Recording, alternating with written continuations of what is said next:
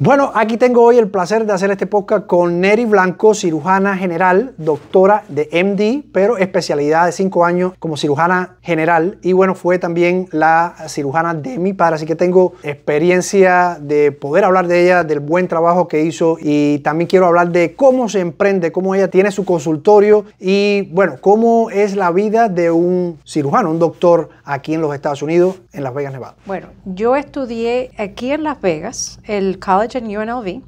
Y entonces me fui para Reno a hacer la escuela de medicina. Después de la escuela de medicina, ya graduada de doctora, hice una residencia por un año de medicina interna y después cinco años más de cirugía general. En sí puedo hacer cirugía general, laparoscópica, de seno, colorectal y también he hecho mucho trauma Así que gente accidentado, gente necesitados de cirugía por eh, accidentes de pecho, de balas, de cuchilladas, pero también eh, muchas eh, heridas, porque tuve bastante tiempo estudiando en los hospitales de veteranos, donde hay muchas enfermedades vasculares. Entonces también he hecho muchas amputaciones y mucha, mucho cuidado de, heridas vasculares. Su especialidad es como cirujana, ¿no? Es cirujana general, donde en sí he tratado de no ser limitada, porque muchos doctores en los Estados Unidos se limitan en términos de hacer nada más que hernias, o hacer nada más que seno, o hacer nada más que colorectal, y se convierten eh, más bien especialistas en esas áreas y, dejan de hacer lo demás. Y a mí lo que me gusta es la variedad. A mí me gusta poder tener un día de cirugías donde hago una vesícula eh, laparoscópica seguida por una hemorroide, seguida por una mastectomía, seguida por un lipoma y después seguida por una disección nódulos linfáticos del cuello. Así que me encanta la variedad y eso es lo que nos da la oportunidad en cirugía general de poder hacer de todo. Ahora ahorita estamos hablando con Neri, me está preguntando de por qué yo soy español. Es que yo, mi idioma es el español. Y a veces nosotros los latinos que llegamos de migrante acá, también Neri vino de, otro país, pero desde chiquita, y bueno, toda su vida prácticamente la ha pasado acá, ¿verdad? No es el caso que muchas personas que a veces nos siguen, ¿no? Llegamos acá a empezar, ¿no? Y nos cuesta trabajo a veces encontrar una buena doctora y qué saber, oye, ¿a quién tengo que ir? Porque estoy en un país que no es el mío. Entonces, un poco para aquellas personas que necesiten de su servicio, cuáles son las actividades en términos que la mayor de las personas puedan tener y entender por ahí, cuáles son las actividades las que más usted ayuda a las personas en el día a día. Bueno, primero que nada, yo vine a los ocho años. Cuando yo llegué en Las Vegas en el 1980, casi no habían hispanos. Y era difícil, era difícil buscar quién lo puede ayudar y al mismo tiempo qué bueno, porque entonces nos ayuda a aprender el inglés y identificarnos mejor más rápido. Pero al mismo tiempo también entiendo lo difícil que fue para mis padres. Eh, mi mamá tenía 40, mi papá tenía 50 y a media edad es muy difícil aprender un nuevo lenguaje, empezar una nueva carrera que muchas veces, aunque uno sea estudiado o no, tiene que venir a este país a hacer de todo, hacer lo que sea, pagar los bills, tener casa y poder progresar y que las próximas generaciones sigan hacia adelante. Ahora las cosas han cambiado mucho. Hay mucha gente que viene de otros estados. La ciudad ha crecido de 500 mil a 3 millones. Ya hay tantos hispanos aquí que mi hijo me, me chistea y me dice, tú nada más que ves a latino. Y yo digo, ¿y qué? Pero no es verdad, yo veo de todo. Pero me encanta mi población latina porque yo creo que más que nada, por lo menos los puedo guiar. Y hay mucho más que solamente hablar español. Yo creo que identificarnos como latinos, sabemos cómo pensamos, sabemos que no es solamente el lenguaje, es cómo cómo, actuamos, todo lo que no decimos. Y hay veces que hay que decirle al paciente, ¿qué pasa? ¿No me entiendes? ¿O me entendiste? ¿O qué me quieres decir? ¿Qué más dudas tiene? ¿Qué pregunta me quieres hacer? Porque les veo, les, se los veo en la cara que todavía hay preguntas y no las hacen. Y si no me las hacen a mí, que hablo español, imagínense, no se lo van a decir a otros doctores tampoco. Pero en estos momentos hay muchos doctores latinos, hay muchos doctores donde es fácil comunicarse. Yo creo que lo primero que la, mayoría de la gente tiene que hacer es ir a un primario, ir a un doctor de familia, ir a un doctor internista, lo que sea. Yo creo que alguien que ya tiene cierta edad, de sesenta y pico de años, debe ir a un internista, medicina interna. Los demás pueden ir a un doctor de familia, de, de práctica de familia. Y una vez al año hacerse sus chequeos de sangre, chequearse el colesterol, chequearse la diabetes. Le cuesta, aunque no tengan seguro, le cuesta 80 dólares. Y 80 dólares una vez al año vale la pena. Vale la pena no se hacen el pelo y no se hacen las uñas, pero por lo menos se hacen la sangre una vez al año. Y yo creo que es tan mínimo y nos dice tanto. Y aunque sea normal, qué bueno, qué bueno. Nos hacemos la sangre no para que salga mal, nos hacemos la sangre para estar confiados que estamos haciendo todo lo correcto y que no nos falta ninguna medicina o ninguna acción, nada, para poder seguir hacia adelante. Si una persona nos está viendo en estos momentos y necesita una doctora, ¿qué usted hace en estos momentos? ¿Qué, ¿O qué tipo de servicios usted brinda o tipo de operaciones que una persona que nos esté viendo dice puedo venir a ver a Neri Blanco? En sí, cirugía general es problemas de la vesícula y problemas de hernias. ¿Qué es el problema de la vesícula? La mayoría de, los problemas de la vesícula los pasan por años, donde la gente se siente incómodo, hinchazón de la barriga, acidez, irritaciones, muchos gases, a veces cambiando entre estreñimiento y diarrea y más bien indigestión. Y la mayoría de la gente pasa años diciendo tengo indigestión, me cayó mal la comida, es mi culpa, es mi culpa porque comí lo indebido. Sí, eso es parte, pero el problema es más profundo, que es la enfermedad de piedras de la vesícula o enfermedad en la capa de la vesícula. Y usualmente eso se cura con una cirugía. No se trata, se cura con una cirugía. En términos de las hernias, la mayoría de la gente sabe cuando tienen una hernia y hay un promedio de cinco años entre notar que hay algo y tener dolor. Así que la mayoría de la gente que tienen o hernias abdominales o hernias de las ingles lo han tenido por años y ya tienden a tener dolor, hinchazón, inflamación y es cuando acuden a, a un cirujano o a un doctor para que los refiera a un cirujano. La mayoría de la gente van al primario primero y son referidos. Muchas veces para que si tienen seguro médico, que ese seguro médico requiere ser referido, pero no todos. Hay gente que pueden decir, mi seguro no, tiene referido o no tengo seguro y tengo este problema o ya han ido a una emergencia y alguien han dicho, tienes problemas con la vesícula, tienes una hernia, tienes una bola que necesitas sacarte, tienes un lipoma, tienes ah, una herida en la pierna que no se te ha sanado por tres meses, cosas así donde uno dice, esto es más que solamente un problema de la presión o un poco de diabetes. Esto es más profundo, más grave. Necesito un cirujano. En nuestro país, yo me recuerdo que nosotros íbamos a un hospital y en el hospital, bueno, me ponían la especialista. Acá es muy diferente el sistema americano al sistema a veces, bueno, yo vengo de Cuba, pero no sé en el país de ustedes cómo es, pero me gustaría que, que, me dijera un poquito más porque eso es una de las barreras que nosotros tenemos cuando llegamos acá, que no sabemos cómo funciona el sistema de salud y más bien depende, como usted acaba de decir, del seguro que tenga una persona. Y entonces hay seguros de PPO, ¿verdad? Que esos seguros pueden ir directo al especialista y son otros seguros, ¿cuál es el otro? HMO. HMO. Yo todavía no estoy muy experto en el HMO, que te cubre primero yendo a un, un, médico primario y ese médico primario es el que te puede eh, dar una, una indicación, una referencia a la doctora que ya usted que es una cirujana. Pero sin embargo, si tuvieras un PPO, si pudiera venir directamente con usted, ¿verdad? ¿Cómo funciona? Sí, pero yo le sugiero a la gente que, que vayan a su doctor primario. ¿Y por qué? Porque ese doctor primario no solamente va a decir, tienes un problema quirúrgico, déjame mandarte al cirujano general, pero también pueden notar un problema en el corazón, lo van a referir al cardiólogo. Pueden notar que tienen alergia, le pueden mandar medicina para alergia. Pueden notar que tiene presión alta, entonces a lo mejor le dice, tienes que hacerte tus presiones varias veces y a lo mejor necesitas medicina para la presión. Pueden mandarles un chequeo de sangre y, y notar que tienen el colesterol. Déjeme decirle, una presión alta o un colesterol alto le puede dar una embolia alta alguien y lo puede matar mucho antes que una hernia o una vesícula. Por eso es que un primario es donde yo creo que la mayoría de la gente debe acudir. Ahora, hay mucha gente que me dicen, he ido a este primario y a este otro primario, no me hacen caso, no me oyen, no me hacen lo que yo quiero que me hagan. Y es ahí donde tenemos a, una población de pacientes donde sí pueden ir directamente al, al, cirujano, ya muchas veces teniendo un diagnóstico ya hecho. Un diagnóstico porque se lo ha dicho el primario o porque ya han ido a una emergencia por dolores fuertes. Entonces ahí es donde pueden ir directamente al, al, cirujano. Ok,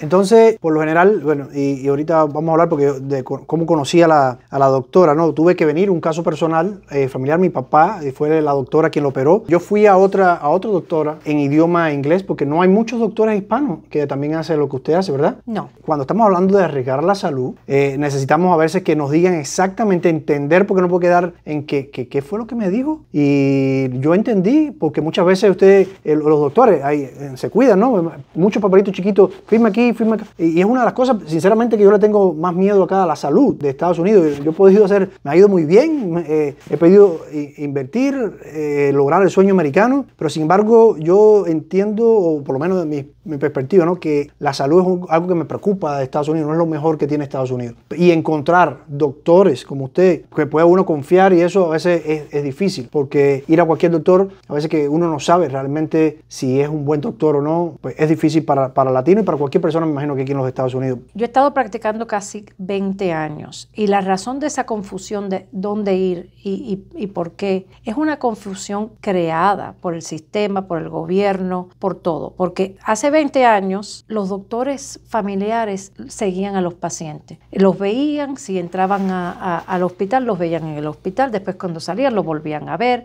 Había un seguimiento donde uno confiaba en esos primarios, los podías llamar, tengo un problema, necesito verte, y iban con los doctores. Y esa, esa relación se ha roto gran parte por los mismos seguros que muchas veces no les permiten a los doctores primarios que sigan a los pacientes en los hospitales. Dicen, no, tú eres doctor de oficina, los hospitalistas que ven este seguro te van a ver en el hospital. ¿Y por qué? Porque hay más control de poder entrarte y sacarte del hospital más rápido. En los hospitales también son muy culpables. Ellos lo que quieren es que la gente vaya a emergencia, que no lo admitan los doctores, sino que vayan a emergencia para también tener control sobre todo el negocio que se hace eh, en la medicina. Y les da menos control a los doctores primarios y a otros doctores en las oficinas, donde nosotros, si alguien me dice, yo me quiero quedar un día más en el hospital, yo les voy a decir que sí, el hospital me va a decir que no. Y yo le voy a decir, pero aquí tienes este diagnóstico y voy a hacer todo lo posible para que el paciente se sienta a gusto y se vaya a la casa en buena forma. Ahora no está pasando así. Ahora todo es empujar, empujar, empujar y la gente sale de los hospitales y a veces ni saben por qué estuvieron. Es bueno que menciona eso, doctora, porque es importante cuando usted está poniendo su, su salud en riesgo, ¿no? Cuando la persona, es decir, el doctor va a ganar de lo que está haciendo. Es decir, la ética es muy importante. Por un lado, si yo te hago una operación más o si te pongo un día más en el hospital, pues yo gano más y a la misma vez, por otro lado, si no lo haces, pues entonces está en riesgo de la salud. Entonces, por eso es que hace falta buscar personas de mucha ética. Fíjate, aquí la doctora, y les puedo decir esto con, con prueba personal, la doctora no me cobró porque trató de que el seguro me cobrara y me, me recontracobrara. Y yo dije, wow, esta ha sido una persona que, que no solamente está haciendo dinero, sino que se preocupa por el cliente. Y eso fue una de las cosas que por eso tengo que hacerle una entrevista acá a la doctora porque valores humanos son muy importantes. Encontrar una persona que, que realmente tenga esos principios de valores y demás, que el dinero no es lo más importante, pero no sabes, mucha gente se hacen doctores porque le pagan bien, porque el doctor es el que tiene una buena casa, el que tiene un buen carro. Pero déjeme decir una cosa, yo no creo que ya es tanto como ética, como desconexión. La medicina ha desconectado a los doctores. Un doctor no habla con el otro y el otro no habla con el otro. Entonces, alguien que necesite múltiples doctores, que tenga un neurólogo, un cardiólogo, un doctor de infección, un pulmonólogo y el primario y también a lo mejor el cirujano, nadie se habla, nadie sabe lo que está pasando. Hay que pedir notas y después a veces las notas uno las lee, ¿no? Entonces tienes que llamar, tienes que hacer el esfuerzo. Eso lleva tiempo, eso lleva esfuerzo, pero es necesario. La medicina se ha puesto tan costosa en términos de llevar una, una, oficina que muchos doctores son empleados. Y al ser empleados de compañías nacionales, que es lo que está pasando mucho con pacientes del Medicare que han cambiado a planes de Medicare HMO o Managed Care, el problema es que un día ven a un doctor y la próxima vez ven a otro doctor, del mismo primario a veces, o de la misma especialidad. Y entonces están completamente desconectados, no saben lo que hizo el otro, aunque lo lean, no saben. Entonces siempre va a ser mejor ver el mismo doctor, si es posible, donde ya te conocen, ya saben tu historial, aunque a veces se le olvida a uno algo, pero ya te conocen. Y yo creo que han hecho eso a propósito para que los doctores ordenen menos estudios, ordenen menos medicina y al mismo tiempo controlen más el cuidado médico que no es bueno para todos los pacientes. Algunos benefician, pero no todos. Hay pacientes que necesitan más y merecen más. Es un tema delicado, me imagino que, que sí, el país tiene un poco de culpa en cómo administra esta parte de la salud y es por eso que es bueno conocer a personas que uno realmente confíe, ¿no? Porque es importante que cuando está uno el tema de la salud que, que pueda decirle a alguien, oye, si esta persona quiere lo mejor para mí, ¿verdad? Y no me quiere dejar una, una semana más en el hospital porque va, va a ser... Oye, ya eso no importa, en sí cobran más por sacarte más rápido. Por eso es el problema. Eh, los hospitales benefician por puntos. Ya no es, es un punto porque te cortamos el pelo y otro punto porque te cortamos las uñas, ¿me entiendes? Es todo por punto. Eso quiere decir que si te dan un Tylenol es un punto. Eso es, te- si te dan otra medicina es otro punto. Si te dan algunos otros estudios es más puntos. Te están incrementando la enfermedad. Hicieron una sesión de puntos. Entonces, por los puntos ganan dinero. Entonces, ya no es por, por código como cobramos los doctores. Los hospitales cobran distinto. Entonces, en sí, ganan más por sacarte más rápido. Ese es el cambio que ha habido en los últimos años y nos estamos dando cuenta que, que los hospitales emplean a, a otros doctores eh, y compañías privadas para mirar a los pacientes de Medicare nada más para sacarlos más rápido. Hay que controlar algo. No digo eso porque si no, el gobierno se va en bancarrota. Hay que controlar el cuidado médico, pero al mismo tiempo yo creo que hay veces que lo controlan muy mal. Para aquellas personas, por ejemplo, lo que me estaba diciendo ahorita Neri, de que tiene que ir a un médico primario, el médico primario es la persona médico general integral o médico de cabecera, no sé cómo en su país. Póngame en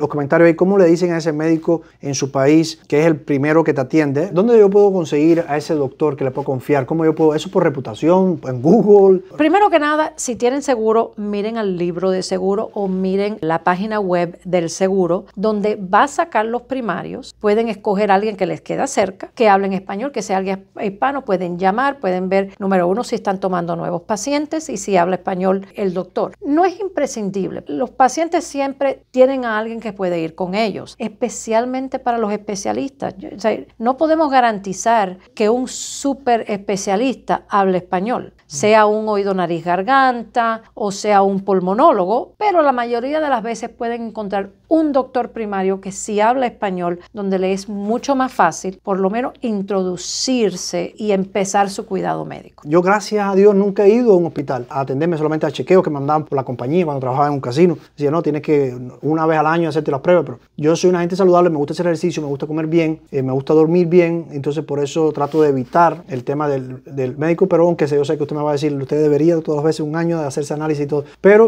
yo a veces trato de evitar un poco eso, pero sí debería, sí debería. Y de hecho, te voy a decir algo, el año este fue el primer año que después que yo me fui al casino, me hice mi primer seguro médico. Yo llevaba como 5, 6, 7 años, no sé, sin seguro médico. Nunca, desde que estoy en este país, nunca me había hecho falta ir a un médico. Y iba cuando estaba en el casino por esas mismas cosas. Por eso es importante que las personas entiendan cómo es el proceso de, de poder tener, encontrar lo- los médicos. Y creo que eso que usted estaba diciendo, de que el mismo sistema de salud hace, porque vamos a decir que a mí me gusta un médico y el médico no cubre ese seguro, entonces ya no lo puedo ver. So, hay un médico bueno, pero a lo mejor no entiendo por qué a veces los planes de salud no cubren un médico, no cubren otro. Quizás que le cobra muy caro a ese médico o le, o le pagan menos al médico. ¿Cómo Eh, funciona? dep- depende, porque si es un seguro de HMO, muchas veces controlan el plan para que haya muy pocos doctores, para que entonces la gente tenga más dificultad en ir a cita, para que entonces le ordenen menos exámenes, ¿no? Entonces, una opción que tienen la- los pacientes si este seguro que tengo no me cubre, aunque me lo vendió Obamacare o me lo dio el- mi, mi trabajo o lo que sea, si se dan cuenta que el seguro que tienen están pagando dinero y no les cubren nada, que hay seguros así, o si es una persona ya retirada que tiene el Medicare y creen que tienen Medicare, pero en sí no tienen Medicare, les han cambiado el plan por completo a un Blue Cross, a un Humana o a un Caremore, donde son reemplazantes del Medicare, donde el Medicare les vende el policy a una compañía privada, ya esas compañías restringen mucho. Entonces, una opción que el paciente tiene es cambiar el seguro. A lo mejor no lo pueden cambiar ahora, pero lo pueden cambiar al final del año. Hay seguros que se lo dejan cambiar cuando uno quiera, pero la mayoría solamente le dan un mes al año para cambiarlo. Diciembre, ¿verdad?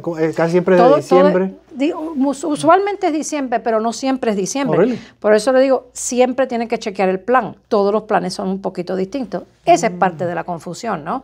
Como todos los seguros son distintos, una persona puede pagar 5 dólares por un antibiótico, mientras que otro puede pagar 1.700. Y se lo aseguro, se lo aseguro, porque tuve una pareja donde el paciente le mandé un antibiótico y ya tenían Medicare y le cobraban 1.700. Cuando se lo mandé a la esposa, que todavía tenía un seguro privado, 4 dólares, el mismo antibiótico. Eso es un caso extremo, pero todos los seguros son un poquito distintos y entonces, por eso es que la gente tiene que tener su cuidado en, los copagos y en si les va a valer la pena. ¿Cuál es el punto de pagar 300 dólares al mes o más por nada? Me gustó ese tema. Es un tema que no pensé tocarlo tanto acá. Más estoy interesado en saber de usted. Pero este tema es muy importante porque estoy seguro que muchas personas que nos están viendo pues se preguntan qué médico tengo que ver, a qué especialista ver, cómo funciona el proceso de salud. Y, eso no hay en ninguna clase. No hay un lado donde en vez de que te enseñen, no sé, cosas en la escuela que, que te preparen para esta, para esta parte de, oye, como yo, una persona que llega, como latino que llega, no sé si en la escuela primaria te enseñan, oye, es mejor un PPO o un HMO cuando estás arriesgando tu vida. Yo tuve la suerte que mi esposa es tomatóloga y estudió un poco medicina un poco que me guía un poco en ese sentido, pero yo me siento como que en otro idioma que yo no conozco, que yo no sé, porque me están hablando de una terminología que aunque sea español, tampoco se entiende, ¿verdad? Entonces es importante más bien buscar una persona que tú la confíes. Eso me imagino que es lo que pasa también con los, los clientes que quieren comprar casa. Yo me siento muy identificado con el latino que viene acá a prosperar. Y sí, gano más dinero cuando el americano tiene un cierre un poco más alto, es decir, puede comprar una casa un poco más alto, pero me parece que me siento más identificado cuando puedo ayudar a personas como que me veo yo cuando llegué a este país y, no supe cómo hacerla, cómo hacerle para poder prosperar. Entonces, por eso, me imagino que también le pasa,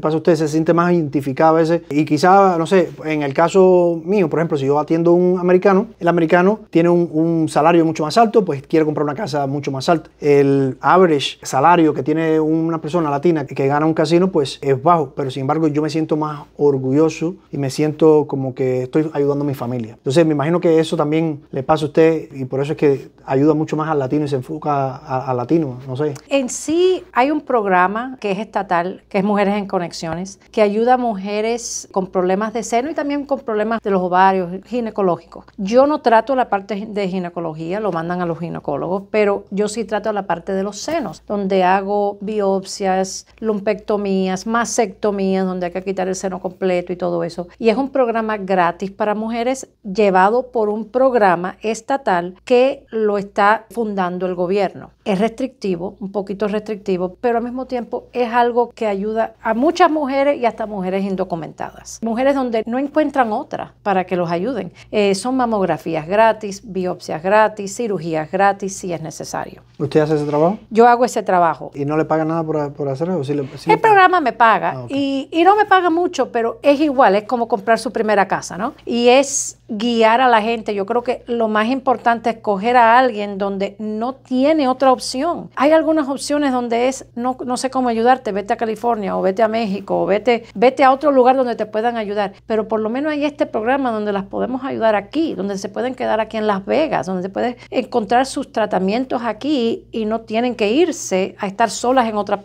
en otro lugar, donde se pueden curar su problema del seno y hasta un cáncer. Pero ese programa me ha asociado con, una población de mujeres, porque no hay hombres, pero, pero se puede identificar con cualquier otro problema, con mujeres donde en sí necesitan no solamente un doctor que le va a dar una medicina o un doctor donde le va a hacer una cirugía, sino a alguien que los guíe. Entonces, eso es importante. No lleva tanto tiempo, no lleva más tiempo de lo normal, pero esa guianza es importante, no solamente para quitarle el estrés, para quitarle esa ansiedad que deben tener cuando alguien te dice que tienes un cáncer en el seno o un cáncer donde sea, pero también saber que hay alguien que te va a guiar en todo lo que puedas necesitar de quimioterapia, de radiaciones, de cirugías, de todo, donde te puedes sentir completamente sobrepasado, ¿no?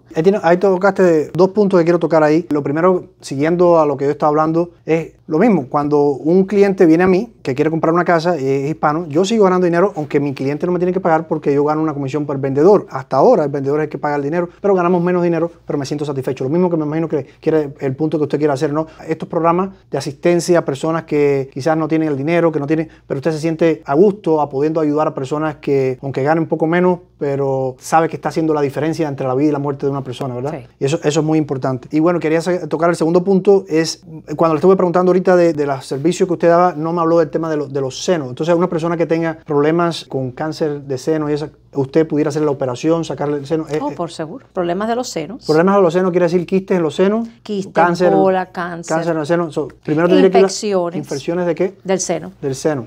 ¿ok? Y entonces... Me dijo ahorita que heridas de bala. eh, Oh, bueno, yo he sacado tantas balas, pero también eh, ano rectal, gente con hemorroides, gente con, con pólipos. eh, ¿Qué cosas son pólipos? Porque para las personas que no. Pólipos son tumores del colon que a veces son o, o no cancerosos o precancerosos, pero no son cánceres Ok, del colon. con el, con el colon. El tubo, creo que es el tubo donde El hace la digestión. de la boca al- ano. Al ano, ok. ¿Qué más hace? ¿Qué- Eh, cualquier otra cirugía intraabdominal, sean ovarios. Yo he hecho ovarios, no, usualmente es ovario con otra cosa, apéndice o algo así. Usualmente cuando se trata de cosas ginecológicas, los mando a un ginecólogo. Así que un útero caído, un útero sangrado debe ir a un ginecólogo. Apendicitis. Apendicitis sí, Ok. por seguro. No, usualmente la gente con apendicitis no vienen a mí, al van a una emergencia porque es algo, sí que es eh, algo emergente que se debe cuidar en 24 a 48 horas, a lo máximo. Y usted me imagino que tiene un turno, me recuerdo que usted me dijo, un día la tengo en el hospital o algo así, como, ¿es como hacen los médicos? ¿Tienen un día en el hospital a servir o cómo funciona? Hace, hace tiempo, pero ya yo no hago muchas llamadas. Después de, al principio de mi carrera, hacer 20 llamadas al mes o algo así, que era una locura, y haciendo llamadas de trauma, donde tienes que estar en el hospital continuamente. Ya en sí, después de la pandemia y del COVID, ya yo no hago llamadas en el hospital. Ah, llamada de guardia. Sí, porque eh, siempre yo recuerdo de mi país que había un cuerpo guardia, entonces había un médico de guardia. Me imagino que eso es como es más difícil. Ya usted tiene su, su espacio y usted me imagino que renta el, el local para hacer cirugía. Yo, si lo hago en el hospital, es por seguro o, o- Por el seguro o- que o diga. por gente que no tienen seguro, que, pa- que pagan su cantidad por procedimiento, en un lugar de cirugía ambulatorio, donde también se hace así. Yo no lo rento, yo solamente tengo mis días de cirugía en lugares de cirugía o en el hospital, donde entonces programamos la cirugía. Vamos a suponer que alguien me diga,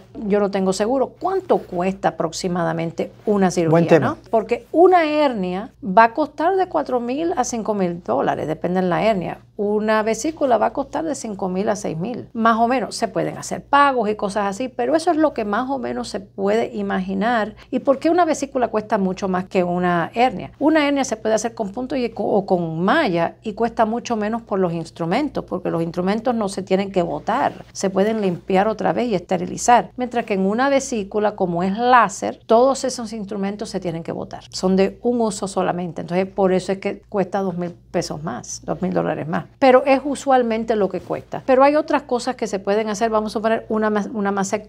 Puede costar más o menos cuatro mil dólares y pico. Algo así donde se puede imaginar que una cirugía cuesta cuatro mil a seis mil dólares en general. ¿Cuánto es lo que cobra un seguro por mensual? Por lo menos 500 dólares al mes. Así que imagínense, una familia de cuatro que esté pagando por lo menos 500 y a lo mejor hasta mil dólares al mes de seguro. No estoy diciendo que la gente no debe tener seguro, no estoy diciendo, pero hay gente que no tiene la oportunidad de tener seguro. Una cirugía costando eso no es el fin del mundo, considerando lo que se puede gastar en un seguro mensual. Esa fue la matemática que yo hice cuando salí de la empresa, ¿no? A mí me ha ido bien la vida, yo gano bien. Entonces, cualquier seguro era 500 dólares, cualquier seguro, y no me cubría tanto. Yo dije, bueno, ¿sabes qué? Prefiero, si tengo que ir, hasta ahora no he ido al hospital, pero si voy a ir al hospital, entonces prefiero pagar lo que tengo que pagar. ¿Cuántos son 20 mil dólares? Pues aquí, aquí tienen los 20 mil dólares. ¿Por qué? Porque al final estoy pagándole 20 mil dólares anyway, adelantado. Y después yo no sé si me va a cubrir o no me va a cubrir. So, pero llega un momento que si una persona tiene eh, una edad que tú dices, ¿sabes qué? Yo, como, yo no me estoy poniendo viejo eh, para aquellas personas que están, pero hay una, hay una edad donde tú dices, ¿sabes qué? Quizás es más propenso a que te pase cualquier cosa, entonces tienes que pensar un poquito más en seguro. O un accidente. Uno nunca sabe si se va a accidentar en un carro o lo que sea. Y ahí los costos, te cambia la vida, te cambia la vida, no puedes trabajar, te cambia la vida y tienes gastos que, que te pueden mandar hacia la bancarrota. Entonces hay que pensar en eso también. Eh, ya que tocó el tema de los precios, entonces estamos hablando de cualquier operación de este tipo, imagino que es el estándar más o menos de cualquier doctor que, que vaya a tener o cuando usted vaya al hospital, ¿no? No, todos los doctores tienen precios cash distintos. Y yo he negociado mucho para que el lugar ambulatorio donde yo opero cueste lo menos posible. En sí me han seguido dando los mismos precios por los últimos cinco años. Así que eso ha estado estable. Menos mal que no han subido, aunque quieren. Pero yo trato de que por lo menos los pacientes cash paguen lo mínimo, lo menos posible, porque también se sabe que cualquier persona que necesite una cirugía va a necesitar tiempo fuera del trabajo, a no ser que solamente tengan un trabajo de oficina, donde nada más que están sentados delante de una computadora es distinto, pero la mayoría de los latinos tienen trabajo donde tienen que caminar, tienen que subir escaleras, tienen que manejar, todos casi tenemos que manejar, y alguien que recién ha operado no puede manejar, no puede eh, trabajar. ¿Cuánto puede diferenciar un doctor de otro doctor en cuanto a un precio de una cirugía de una vesícula, por ejemplo? Yo creo que el promedio de, puede ser de 6 mil a 10 mil dólares. Y usted me está diciendo algo importante, que de- en dependencia de que el lugar que el doctor elija para operar es cuán caro puede salir eh, la operación también, ¿no? Exacto. Porque usted tiene que pagarle, me imagino, al local por hacer la operación ahí. ¿Cómo funciona eso? Son tres pagos y yo trato de no ser el intermediario, porque no me gusta. A los pacientes yo les digo, mira, este es el precio mío, este es el precio del anestesiólogo, el doctor que te va a anestesiar y dormir, y este es el precio del lugar quirúrgico. Usted va a hacer tres pagos, uno a mí, uno al anestesiólogo y uno al, al lugar, porque no quiero que, que los pacientes piensen que yo quiero Que beneficiar de los demás. Yo tengo mi pago y es mi pago y más nada, y los demás tienen que hacer sus pagos eh, ellos, para que el paciente tam- también no se sienta que está No, que a lo mejor piensan que todo es usted, ¿no? Es que usted necesita también de un hospital, de un anestesiólogo y me imagino que a lo mejor la asistencia de enfermera, que, un poco este, es aquí, ahorita vamos a estar enseñando imágenes de acá de- del, local de la doctora, pero no es aquí donde ella opera. So, aquí es donde ella atiende a la persona, le da seguimiento a la persona y entonces utiliza esa, esa facilidad que son, tienen tecnología para operar y todo eso, ¿no? Entonces, esos son costos adicionales que tiene que pensar la persona cuando va a tener un, un problema de esto, me imagino. Bueno, ¿cómo fue que conocimos a Neri? Eh, nosotros fuimos a nuestra doctora de cabecera de familia, la primera doctora que tiene que ver que te hace la remisión a, la doctora cirujana. Y primero me mandó a otra cirujana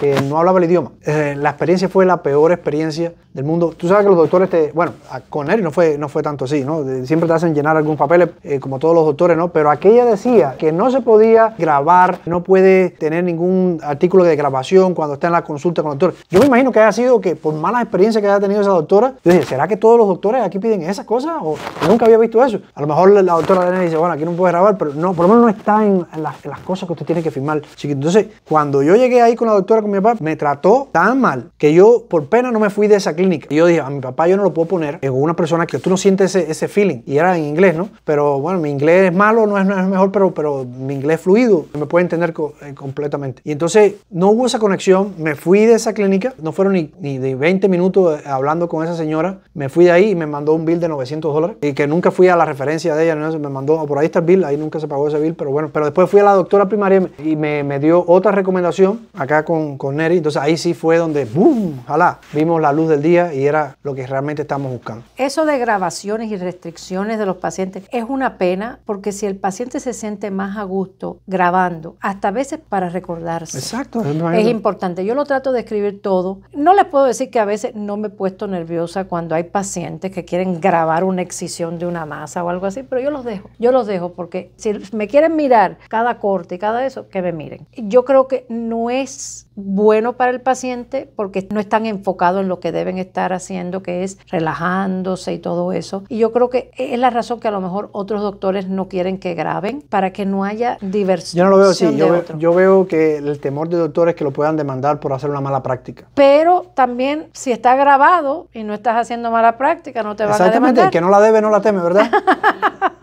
Vamos ahora a otro tema, vamos a pasar a otro tema. Vamos a conocer ahora un poco más a Neri. A ver, me estabas hablando que Neri, cubana, ¿de qué parte de Cuba eres? De La Habana. De La Habana. Naciste en, Cuba. ¿Tus padres eh, qué estudiaron, qué hicieron en Cuba? Mi papá era santiaguero y él en sí estudió un poquito de bachillerato, pero no estudió más que eso. En los años 50 se convirtió en, en vendedor farmacéutico por toda la isla de Cuba y después trabajó para otras compañías americanas y después se hizo dealer de casino en los 50. En el tiempo de, lo, ¿En de la hotel? mafia. ¿En qué hotel? En el Tropicana y en otro, ahora se me olvida. Ok. Pero sí estuvo en varios, en varios hoteles estuvo. Era su, su tiempo glorioso, ¿no? El, el mejor tiempo de Cuba de los 50, donde tenía el trabajo mejor que era, perdona que lo diga, pero trabajando para la mafia en los casinos. Era el tiempo donde los dealers de casinos estaban con, con toxido y, y era un tiempo donde ganaban mucho dinero. Ganaban 10 veces lo que ganaba un doctor. Y después que vino para Las Vegas también fue dealer de casino. Mi mamá sí fue secretaria y trabajó para, los, para las oficinas gubernamentales donde hacía retiros en Cuba. Ella trabajaba para el gobierno en Cuba. En Cuba antes del, del comunismo, Del y comunismo. después un poquito Ah. después. ¿Y por qué se van de Cuba? Bueno, nos fuimos de Cuba porque éramos gusanos. Nunca fuimos comunistas. O sea, nunca- vamos, vamos, vamos, para los que no entienden la terminología de gusano. Gusano es la terminología que usaba el comunismo, Fidel, a toda aquella persona que estaba en contra. Si tú estabas en contra de la revolución, entonces te llamaban gusano. Eso es lo que estaba diciendo. Entonces, para que entiendan aquellas personas que no, que no son cubanas y que no, no van a entender la, la terminología. Entonces, si tú no estabas conmigo, estabas en contra mía. Eso hacía que inclusive la familia se separara. Esos son muchos temas que han destruido muchas familias en Cuba.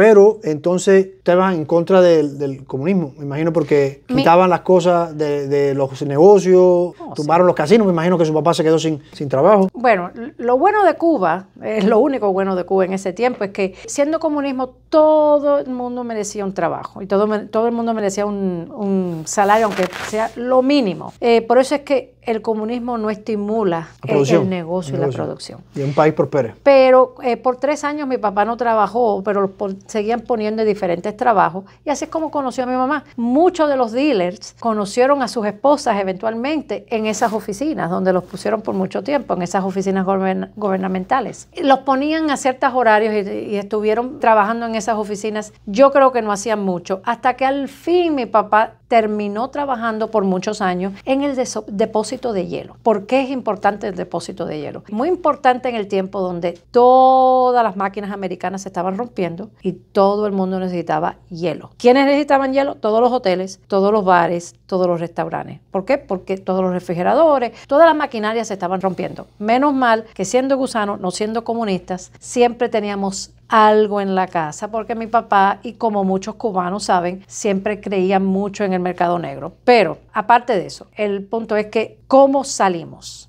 Mi ¿Por qué, qué les hace decir, tengo que salir de Cuba? ¿Sí sabes? el sistema restrictivo de Cuba, donde ellos sabían que no estaban con el comunismo y no hay derechos humanos. No se puede decir nada. Le voy a dar dos anécdotas. La tía de mi mamá, que en el año 60, ella tenía, tenía buena posición y tenía su teléfono. En esos tiempos los teléfonos pertenecían a las compañías de teléfono. Ella hablaba horrores de Castro. Un día, no mucho tiempo, para que sepa, un día le tocan a la casa y le dicen, estamos aquí a recoger el teléfono de usted. Así terminaron el problema. ¿Por qué? Escuchaban las cosas del Porque en Cuba se abrían la- las correspondencias y todavía estoy segura que lo hacen. Oían las conversaciones, hacían de todo para controlar a la población, para que todo el mundo estuviera en la misma hilera. La segunda anécdota es mi abuela que estaba media sorda, oía las noticias. Después del comunismo, oía las noticias. ¿Y qué oía? Voces de América. Ya eso no sé, casi no se sabe, pero las voces de América por muchas décadas fue muy importante, no solamente para los cubanos, pero internacionalmente para gente que querían saber las noticias de ahora y que sabían que el gobierno no se No las iba a decir. Y en Cuba, como en muchos lugares no había aire acondicionado, había los ventanales que estaban abiertos y se podía oír las conversaciones de la gente y especialmente mi abuela siendo sorda subía el volumen y ella todos los días, todos los días oía voces de América. Y le viene una amistad a mi mamá y le dice, oye, tienes que apagar eso o tienes que cerrar los ventanales o lo que sea, pero no te pueden seguir oyendo las voces de América porque los van a arrestar. Wow. Los jóvenes no saben que cuando Castro estaba en la sierra, habían bomba tras bomba tras bomba en La Habana y hubo una noche de las 100 bombas. Yo les sugiero a todos los, los que están oyendo y los que están mirando que miren la historia, que estoy segura que hay cubanos que no saben la noche de las 100 bombas. La noche de las 100 bombas es por muchos meses, cuando Castro estaba en la sierra, que quería controlar a la población para que la gente no se les revirara, ¿no?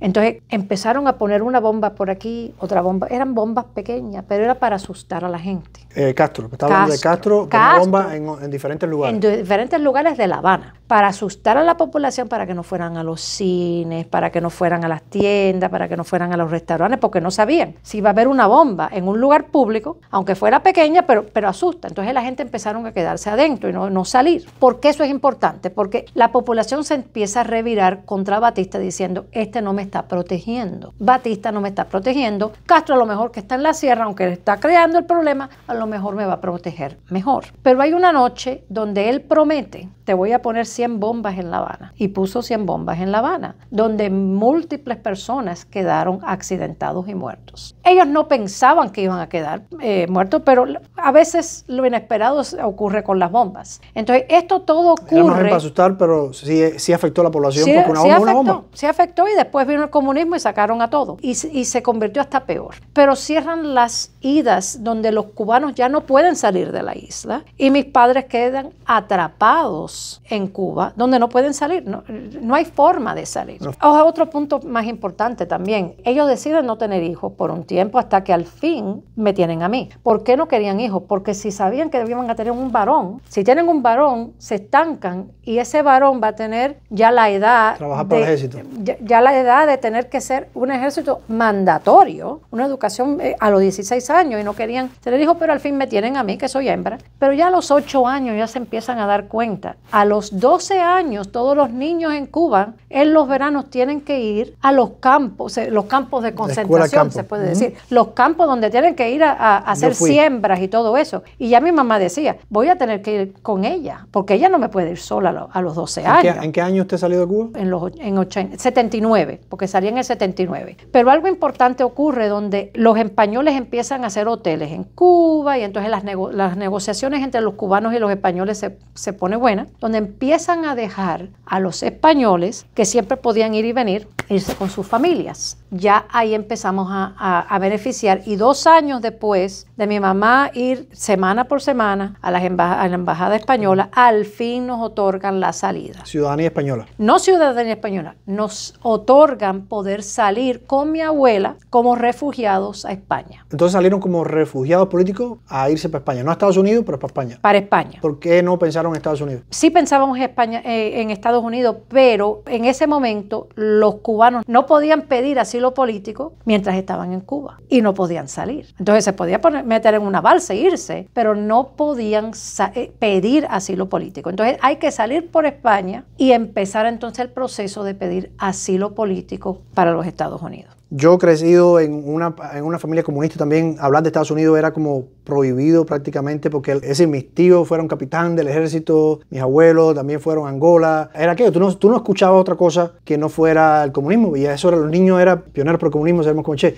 eso lo, nos criamos todos en esa ideología y no tener tú una comparación, pues ese fue tu crianza, ese fue, no fue hasta mi universidad que yo empiezo a, a ver. Yo, a un tío que nos, nos enseñaba qué es lo que realmente pasaba aquí en los Estados Unidos que yo pude comparar, porque eran dos canales de televisión y los dos hablaban las mismas cosas. Ajá. Entonces, cuéntame, te vas para España y qué pasa luego. Bueno, primero, mis padres sabiendo lo que ya venía, que se tenían que integrar si yo quería estudiar. Esa es otra. Uno no puede estudiar si no está integrado. ¿Qué cosa integrado? Sí. Que sea de la revolución, de la, es sí, decir, sí, de la juventud, como si yo tuve que ser de la juventud. Tienes que ser, si, si, quieres estudiar, si no, te queda bruto. Para ir a la universidad tienes que estar integrado. Entonces mis papás decían, hay que salir de aquí, de, hay que hacer ahora más esfuerzo. Ya hemos estado 20 años en eso, en diferentes etapas, hay que hacer un esfuerzo. Nos vamos para España y ya en España, yo hice mi tercer grado en tres países, en, en Cuba, en España y aquí en los Estados Unidos, donde tuve que hacer mi tercer grado sin saber ¿Qué tiempo ni estuviste papa. en España? Cinco meses y medio. Cinco meses y medio. Tu intención siempre fue de ir venir para acá a los Estados Unidos. ¿Tenías familia en Estados Unidos? Bueno, no teníamos a nadie aquí. La intención siempre fue venir a los Estados Unidos, no porque no nos encantaba España, porque si hubiéramos podido quedarnos, lo hubiéramos hecho. En el 79 a 80, cuando llegamos a España, había el peor tiempo, una recesión severa en España, donde ya habían hecho leyes donde no se podían emplear a inmigrantes. De otros países. Increíble, leyes. Si ahora lo hiciéramos sería otra cosa. Entonces mi papá no podía encontrar ningún trabajo y sabíamos que en cinco meses, aunque trataba de hacer otras cosas, pero es que eh, eran leyes severas. Entonces ya en cinco meses y media nos venimos para acá, para, para Las Vegas directamente. Para Las Vegas, eso te iba a preguntar. Tu primer lugar fue en Las Vegas, siempre te naciste, siempre, te, te, te criaste acá. So, a los, desde los ocho años estás viviendo aquí en Las Vegas. Sí. Tú tienes que hacer el high school, me imagino, terminar, eh, terminar el high school. ¿Qué fue lo que estudió después Neri? Ciencias biológicas, con minoría en química en, en, el, en, la universidad y después la escuela de medicina. ¿Aquí no había universidad para ciencias biológicas o sí? La, la, el UNLV sí tiene ciencias biológicas eh, y ahora sí tiene pre-med, pre-med pre-medicina. Pre-medicina. Antes no tenían pre-medicina, pero ahora sí tienen pre-medicina. Entonces, estudias esto de biología. ¿Cómo es el proceso en Cuba? Tenías cinco años de medicina De y después te hacías, y después te hacías un- una especialidad. ¿Es algo parecido aquí? Eh, un poquito distinto. Aquí es los cuatro años de high school, que en, en otros países ese high school es distinto y lo combinan con bachillerato con, el, con la universidad. Así que aquí es nada más que los cuatro años de high school, te gradúas y empiezas una carrera en, en la universidad, que usualmente son cuatro años, si lo haces a tiempo completo. Ya después entonces haces los exámenes, igual que hay un examen para ir a la escuela de leyes, hay un examen para ir a la escuela de medicina, que es el MCAT, MCAT. Ese examen lo haces con la universidad, terminas la universidad y aplicas a la, a- a la escuela de medicina. Pero cuando hablas de la universidad, estábamos hablando de. Porque, por ejemplo, yo estuve en la universidad y yo era ingeniero. So, no todas las especialidades están en la misma universidad. Por ejemplo, eh, había universidades que eran de medicina. ¿Me está hablando de la universidad que se especializaba en áreas de medicina o es una misma universidad que se dan clases de diferentes cosas? ¿Cómo funciona? Eh, Es la, la universidad, yo creo que eh, de costumbre de los Estados Unidos, donde los primeros años es igual para todo el mundo. Oh, really? ¿ok? Es lo, lo básico. Tienes que tomar psicología, inglés, matemática, todo eso lo tienes que tomar. Es como viene siendo el college ahora. Es el college de dos años y los otros dos años ya son clases más específicas a la mayoría que vas a tomar. La mayoría quiere decir o contabilidad, o maestría, o ciencias biológicas, o premedicina. Ok, y después te especializas. Y, y déjeme decirle, yo cuando hice la universidad o el college, que es lo mismo, yo siempre, aunque yo era ciencias biológicas, yo siempre tomaba una clase de arte. Esa era mi cosa. Siempre, la clase, yo digo, siempre digo, la clase más difícil que yo tomé en toda mi vida fue la historia del arte medieval temprana, de 1300 a 1500. La clase más difícil que yo he tomado, mucho más difícil que cualquier escuela de medicina. Pero todavía te acuerdas de los años, así que quiere decir que te lo bien. Me encantó. Entonces usted se gradúa de la un especialidad fue BS, un, un BS de, de universidad, ¿no? un BS. bachelor's, y entonces un MD, eh, ya M- MD es como ya como para hacerse doctor. doctor. Ya eres doctor, lo que no has hecho residencia. ¿Cuántos años te toma? Cuatro años. Cuatro años ese doctor y después entonces la especialidad. La especialidad. Entonces, ¿desde qué año empiezas eh, ya con el El MD, MD? Como MD, ¿qué quiere decir como doctora? sí, e- en el 98 pero empieza la residencia. Entonces, seis años después es cuando ya termino mi residencia y empiezo a ejercer en práctica eh, privada desde el 2004. Y entonces ahí después hizo su especialidad de cirujana. Ujú. Desde 2004 ya soy cirujana. Desde el 2004. So, ¿Cuántos años son la especialidad? Yo hice un año de medicina interna y cinco años de, de cirugía general. Es mucho tiempo el, el tema, casi que una carrera completa hacer cirugía. Un día a la vez. Un día a la vez. Vamos ahora a hablar de la emprendedora de, de Neri. Ahorita vamos a hablar de la familia un poquito. Tú hacerte doctor, tú puedes trabajar para los hospitales, pero también tú puedes tener tu propio negocio. Tú puedes decir, ¿sabes qué? Me voy a abrir como usted tiene su oficina acá, donde tiene su propio negocio. Usted es un poco como eh, es emprender. ¿Cómo funciona eso, Neri, emprendedora? Porque ya te digo, una cosa es hacerse doctor y otra cosa es, imagino, administrar, ¿no? Contratar asistentes, llevar papeles. Y usted yo veo que siempre está pa' aquí, para allá, para aquí, para allá. ¿Cómo es esa vida, esa rutina? Hablan un poco para esas personas que llegan, ¿cómo es la, la- la parte esa de, de ser emprendedora? Yo creo que las cosas han cambiado mucho en los últimos 20 años y yo creo que es muy difícil ser eh, privado porque no te dan los contratos de, de los seguros médicos y todo eso. Yo creo que la mayoría de los doctores del futuro van a ser empleados. Sigue siendo una vida bien, sigue haciendo lo que te gusta, sigue siendo alguien donde curas a los pacientes y, tratas a los pacientes y, y tienes mucho beneficio y por lo menos no tienes los otros dolores de cabeza de toda la parte administrativa y te puedes enfocar en el trabajo nada más, eh, siendo empleado, pero sigue siendo un empleado. A mí no me gusta ser empleado, nunca lo he sido, entonces es difícil yo pensar, ay, me voy a unir a, a esta compañía, porque a mí me gusta, si voy a tomar una vacación o si voy a hacer cualquier cosa, yo hago lo que tengo que hacer. Claro, que no hay vacaciones libres para alguien que, que es medicina interna. Menos mal que todo se puede mandar electrónicamente, pero yo acabo de, hacer- de tener unas vacaciones de 10 días y le puedo decir, todos los días, yo entro a la computadora, yo mando medicina, yo mando refill, yo contesto textos, yo hago de todo, incluyendo lo de usted. Sí el teléfono no para y es mejor así, Usted me porque estaba contestando a mí, estaba en sus vacaciones y yo estaba molestado. Oye, usted quiere hacer, hacer una entrevista y quiero. y entonces- Hasta hice una conferencia con un doctor de, de UCLA con un paciente viendo un castillo. Así que eh, no me molestó porque estaba, estaba contenta en donde estaba. Pero eh, el punto es que es mejor a veces hacer las cosas así. Lleva unos minutos antes de regresar con 20 dolores de cabeza. ¿no? A veces la gente necesita sus medicinas, necesitan sus preguntas. La ansiedad de alguien cuando no les contestas rápidamente le sube y le duplica. Y entonces a veces es mejor diliar con el problema, son unos minutos, mejor así. Pero el punto es que la, la práctica privada es muy distinta a ser un empleado, porque sí, se, a lo mejor no tienes todos los contratos y también tienes unos dolores de cabeza administrativos donde tienes que mantenerlo todo, tienes que, tienes que hacerlo todo, pero por lo menos no le estás dando la responsabilidad a gente donde uno nunca sabe si se lo van a hacer. O sea, le dices a alguien, manda esta medicina o la mando yo. Me lleva 10 segundos más mandarla yo, la voy a mandar yo. A veces los doctores tienen muchos asistentes y las cosas se pierden en el Oh, en pase el de la flujo. información. Y muchas veces lo hago yo porque prefiero hacerlo yo sabiendo que ya lo hice. Es que la doctora es una doctora muy consciente. A veces yo le digo, de esta para aquí, para allá, para aquí, para allá. Y, y es de, así una trabajadora. Esto me gusta, por eso es que me gusta tanto. Por eso es que dije, bueno, ¿sabes qué? Tengo que hacer una entrevista a Neri porque es que se preocupa tanto por el cliente que, como ella dice, ella prefiere a veces no darle la asistencia y ella misma enviar. En ocasiones a mí me decía, espérate, espérate, yo mismo no la demás. Y ah, una vez llamamos al, al, al cirujano, al, Gastroenterólogo. Al gastro- al gastroenterólogo, que fue una remisión que hicimos acá por el tema de, de- de mi papá. Y entonces ella misma, espérate, yo mismo llamo. Pues, no, no sabía que ella era la que iba a llamar. Y normalmente eso lo hace un asistente. Ahora, esto, vamos a hablar ahora de la rutina. ¿Cuál es la rutina cuando tienes un negocio, tienes familia? ¿Tienes hijos?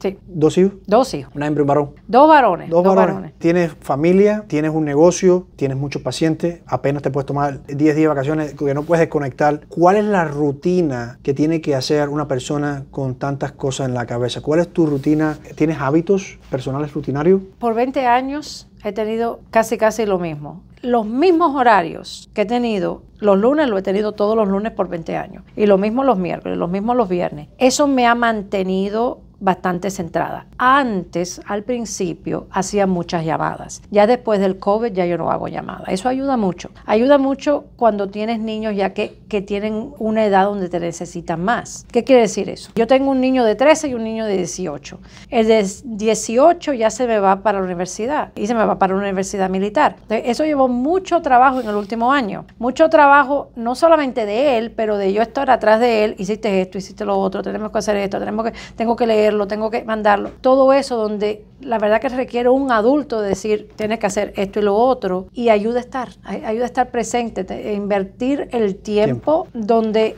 cuando están de, de dos años y tres, lo puede cuidar cualquiera, se puede decir, mientras sea parte de la familia, pero, pero ya cierta etapa, en mi opinión, esa etapa de 13, 15, 16, 18, ya es muy importante para encaminarlos bien. Me estás hablando de las rutinas de trabajo. Quiero saber un poco más de las rutinas personales, las rutinas de cuántas horas duerme Neri. ¿Duerme 7 horas, 6 horas, 8 horas? Yo soy mala para eso. Yo nunca me mido el, el sueño. Yo me duermo cuando yo quiera. Y eso sí le sugiero a alguien que tenga insomnia. No se vayan a la cama si no tienen sueño. Queden a hacer co- Yo soy noctámbula. Así que yo me puedo dormir a las 2 y 3 de la mañana y despertarme a las 7, que no hay problema. Sí, eventualmente me, me cae arriba, ¿no? Pero habiendo hecho tantas llamadas por tantos años, lo puedo hacer. Físicamente lo puedo hacer. Ya me estoy poniendo vieja, tengo 52 años.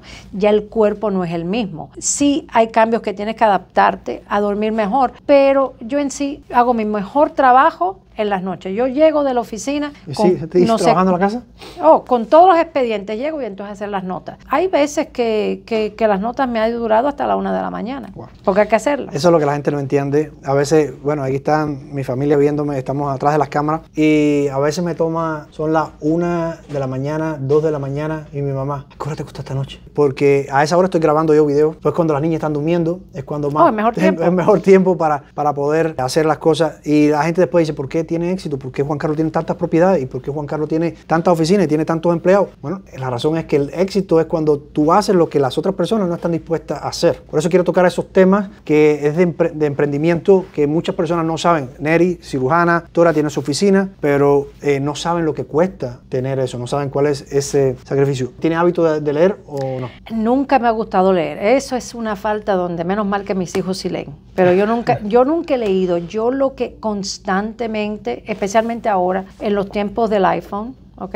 Yo cualquier duda lo busco, cualquier cosa. Hábitos de alimentación. Usted tiene una forma, se ve, se ve atlética. Dígame sobre alimentación y sobre ejercicio. ¿Se mide su dieta o, y se mide, hace ejercicio? Ah, soy mal en eso. Eh, soy mal en ejercicio. Antes hacía mucho, pero ahora una vez en cuando corro. Y que ahora corro con mis hijos y corro con mi perra. Así que menos mal por los perros. Los perros ayudan tanto. Y trato de correr dos o tres veces a la semana eh, en la misma vecindad con mi perra y menos mal que ella me, sigue. Y alimentar, yo la verdad que eh, trato de evadir, no es que no me guste, pero a veces hasta ni la tolero muy bien, la carne de res y el puerco y comer la comida lo más saludable. No soy de ensalada, no me gusta la ensalada, pero sí mucha fruta y, y muchos granos. Yo sí como arroz. ¿Tienes horarios como- de comida? Eh, no, ir- completamente irregular. Cuando llego a la casa me como algo. Trato de evadir lo malo, trato de comer lo bueno, pero tengo horarios de trabajo donde no siempre son regulares y lo acepto. O sea, la gente tiene también- que decir, yo trabajo en la noche y no puedo hacer esto y lo otro, me tengo que adaptar. Sea, no busques excusas de decir, tengo que tomar esto y tengo que tomar estas pastillas para dormir y tengo que comer ciertas comidas porque no, no tengo ganas de, de cocinar saludable. Son excusas. Yo creo que sea lo que sea, si trabajas por la noche, si trabajas por el día o si tienes trabajos irregulares, haz lo que puedas por mantenerte. Neri, aquellas personas, aquellos latinos, aquella persona que, bueno, que habla español y que nos esté escuchando en este momento, ¿qué le recomienda si quiere tener su propio negocio? ¿Cuál sería aquel consejo que usted le diera a cualquier persona que quiera tener su propio negocio como usted lo tiene, estudiar acá en los Estados Unidos? Si usted estuviera para atrás, usted se viera 20 años atrás, ¿qué usted recomendaría para poder llegar a, donde usted está ahora? La educación es lo más, lo más importante, que sea un community college. Puedes empezar en el community college por dos años, que muchas veces ahora es gratis, y entonces eventualmente eh, hacer los últimos años en la universidad. No todo el mundo puede tener una carrera, no todo el mundo puede tener una carrera universitaria y una carrera avanzada de leyes, de PhD, de, de filosofía o de, o de medicina. No todo el mundo está para eso, pero la educación es básica. Para la gente que no quieren estudiar, consigan un trabajo ya con certificaciones, sea de aire acondicionado, se- sea de de plomería, sea de cualquier cosa donde tú tienes tu certificación y puedes coger esa certificación y llevarla donde pues, sea y hacer tu propio negocio. Un plomero puede ganar más que nosotros, ¿no? Es todo como lo hacen y cómo llevan el negocio. Aquí estamos afuera del consultorio de Neri. Neri nos va a dar un tour un momentico por el consultorio. Así que esto es lo que usted va a ver cuando venga aquí a tratarse con la doctora Neri. Vengan para acá. Neri, ¿qué tiempo llevas con este consultorio? Uh, desde 2000 ¿Siempre, siempre estuvo aquí o...? En sí estuve por varios años en una oficina donde... Eh, rentaba atrás del hospital de Desert Springs. Y después me mudé aquí donde yo creo que es mucho más fácil porque si se dan cuenta el parqueo está inmediatamente afuera del consultorio. Y hay gente donde pueden parquear en el, en el handicap y entran a 10 pasos nomás, ya están en el consultorio, hay camillas que me han traído, hay sillas de rueda que pueden entrar y es directo, no hay pasos y pueden entrar directamente. So, Este es el área de espera acá cuando entran los pacientes. Y entonces estas son eh, áreas, ¿no? Usted tiene diferentes consultas. Yo, yo personalmente estuve acá. Tienes como varios sal- saloncitos, ¿no? Para, para cada uno de los pacientes. Sí, Sí. venga para acá. Eh, tengo múltiples consultorios. En sí tiene capacidad de 10 consultorios y un consultorio es típico en este cuarto donde está pequeño y apretado, pero lo necesario, que es la cama, las sillas y suficiente espacio para poder hablar en confidencia, hacer exámenes y a lo mejor a veces hasta hacer exámenes pélvicos. Este es como eh, tu local, tienes 10 cubículos y yo sí veo que estás en uno, pasas para el otro y pasas para el otro. Te da bastante espacio para que si hay alguno sucio, pues tienes 10 limpios. Exacto. Y déjeme decirle una cosa, las cosas pasan, en los años uno aprende. Yo en sí uso cuatro, pero tengo diez. Entonces, han habido apagones aquí. ¿Y qué pasa cuando hay un apagón? Pues muevo a mis pacientes a donde hay by ventanales. Y hay luz. y- Ha habido varias veces en estos años donde he Claro, tenido eso, que hacer eso. eso por aquí la- no pasa mucho, ¿verdad? Oh, estamos en Las Vegas Central y me ha pasado. ¿Horrible? Me ha pasado, muy, especialmente cuando hay mucha construcción, hay apagones. Lo otro que yo creo que es muy importante es las lecturas que le doy a los pacientes, darle algo que se puedan llevar donde uno dice, tengo un problema, esto habla del problema, describe los tratamientos y por qué tienes el problema también.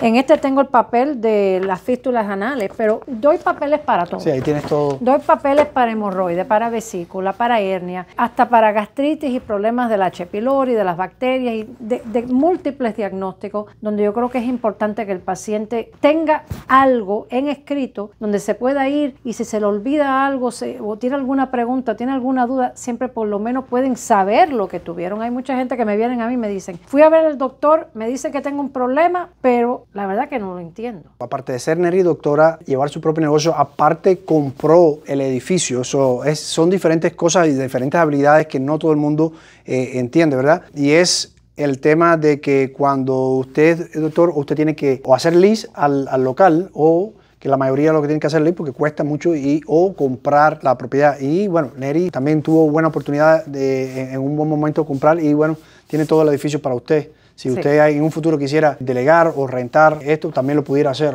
¿verdad? Porque usted es la dueña, aparte que es un negocio aparte de la medicina. Ya solamente usted ha hecho dinero solamente por, por- por tener el local y va apreciando con el tiempo. Así que si usted está queriendo comprar un área comercial, ahí puse yo mi, mi propaganda un poquito. Es importante saber de esas cosas, que es decir, no solamente tienes que saber que estudiar medicina, sino que qué lease o qué, qué compra voy a hacer. Y para eso, bueno, nos puede llamar y nosotros eh, explicarle, bueno, y buscarle también un área comercial como como esta que tiene Neri. Cuando estás trabajando para un hospital, entonces si hay una cirugía de emergencia, eh, muchas veces las personas no pagan. ¿Eso el hospital te paga o tú no cobras cuando tú trabajando para un hospital y atiendas a una persona? ¿Cómo funciona eso? Si estás de guardia esas 24 horas o lo que sea, estás responsable por el cuidado del paciente, tengan seguro o no tengan seguro, así que tienes que hacer lo que tienes que hacer. Y si no pagan, muchas veces solamente se le puede mandar el bill y, no puedes enforzar ese pago. Pero usualmente, en general, si tú coges unas 24 horas de llamadas y, mezclas lo que no tienen seguro y lo que sí tienen seguro,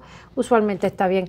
El pago del hospital usualmente es mínimo, no cubre lo que se necesita, pero en combinación con los pacientes que tienen seguro, usualmente terminas bien. Hemos aprendido muchísimo de la vida de Neri, de todo lo que es medicina, a quién usted debe venir cuando usted se sienta mal, qué es lo que hace Neri, cómo Neri le puede estar ayudando. Si una persona quiere llamar Neri, ¿cuál es el número para hacer cita? ¿Tiene que ser con su cabecera de familia o usted quiere dejar el número? Sí, eh, en sí yo les sugiero que siempre vayan al, al doctor de cabecera, yo creo que es importante, pero para la gente que sí ya saben exactamente lo que tienen y lo que necesitan, el número de nosotros es el 702-240-6374, 6374 o 240 NERI. Vamos a decir que hay alguien que estoy seguro que muchas personas que están ahí y bueno, ojalá que no tengan el problema y que tengan que venir acá con Neri, ¿no? Pero si alguna persona de la que está ahí escuchando sabe que tiene ese problema y quisiera cambiar el doctor, quisiera, oye, yo no sabía, yo mira todos los problemas que he pasado con este doctor y, y sé que hay una doctora que es muy buena. ¿Cómo funciona esto de ir al doctor primario y que el doctor primario la manda? refiere.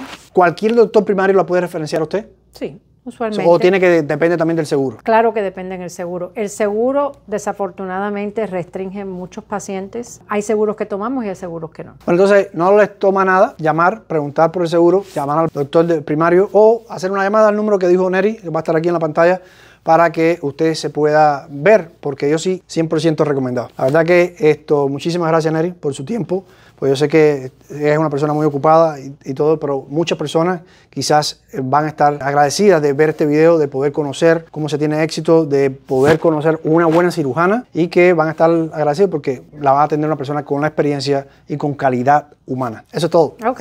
Muchas gracias. Igualmente.